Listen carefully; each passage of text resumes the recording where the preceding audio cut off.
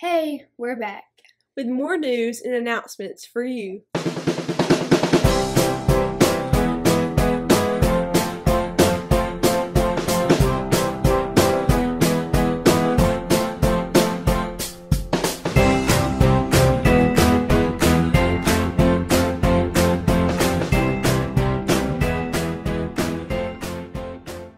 Congratulations to the students of the week.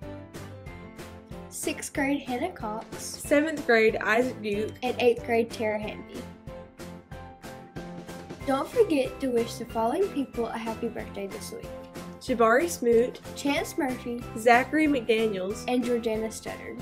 Congratulations to our boys and girls basketball team for winning their county championship. And we would also like to congratulate the following people on making All County For the boys, Max Hanson, Rusty Escamilla, Omarion Foster, and the offensive MVP was Jack Hayes, and the MVP was Coleman Reed. And for the girls, Melija Johnson, Jenna Calvert, and the defensive MVP was Gracie Neuer, and the MVP was Ava Pope. Kid Check will be on February 20th. So remember to turn in your Kid Check forms as soon as possible. This week is Random Acts of Kindness Week, so our school will be collecting money to pay for lunch for our police and fire departments. We also will be collecting snacks to give to the night shift workers. Just remember, kindness is free. So sprinkle that stuff everywhere.